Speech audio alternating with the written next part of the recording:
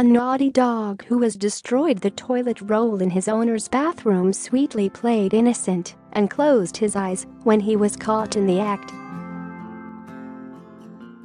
Chihuahua cheese mix, Mocha, 8, from Lathrop, California, U.S., can be seen smiling with his eyes firmly sealed shut after his antics. Mocha refused to open his eyes and kept wagging his tail when a man asked him what did you do in the hilarious clip. The man continued, saying, why are you sleeping? I'm talking to you. When he got no reaction from the cheeky dog, after asking repeated questions the man pointed at the canine before he turned his head away. Mocha kept up his innocent act throughout the clip and did not stop smiling and wagging his tail.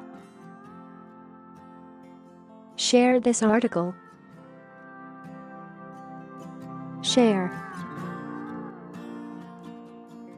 The cute canine held one of his hind legs up throughout the clip in an attempt to make himself look even sweeter to the frustrated filmer in the hope of getting away with the mess.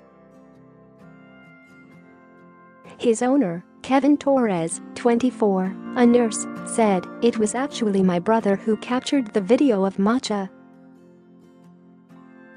I was in class at college to receive this video of him and couldn't help but laugh.